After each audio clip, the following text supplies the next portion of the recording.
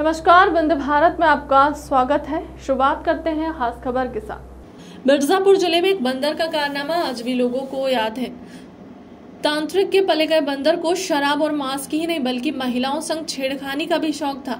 इतिहास में यह बंदर पहली बार उम्र कैद की सजा पाया था। ज़िले ही नहीं, देश के लिए वर्ष 2017 में एक ऐसा मौका आया था जब एक बंदर को उम्र कैद की सजा हो गई। उसकी हरकतों की वजह से देनी पड़ी थी। उस पर 250 से ज़्यादा महिलाओं को काटने के सरकारी आंकड़े दर्ज हैं। वह एक तांत्रिक का पालतू बंदर था और तांत्रिक ने ही उसको मांस और शराब की लत लगाने के साथ ही उसे सारे आपराधिक कारनामे सिखा रखे थे। तांत्रिक की मौत के बाद बाँस और शराब न मिलने पर कलुआ खूंकार हो गया।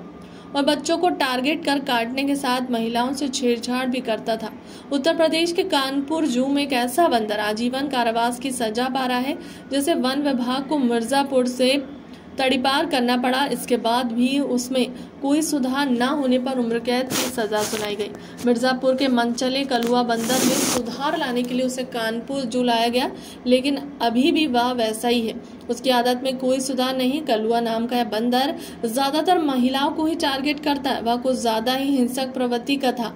इस बंदर पर 250 से ज़्यादा महिलाओं को काटने के सरकारी आंकड़े दर्ज है। कलुआ बंदर महिलाओं से छेड़छाड़ करता था।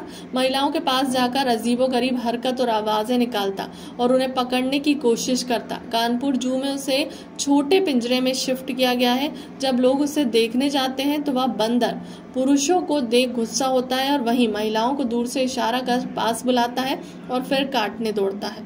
फ़िलहाल क्लब तक की खबरों में इतना ही। देश दुनिया की तमाम बड़ी खबरों के लिए बने रहे हमारे चैनल के साथ। नमस्कार।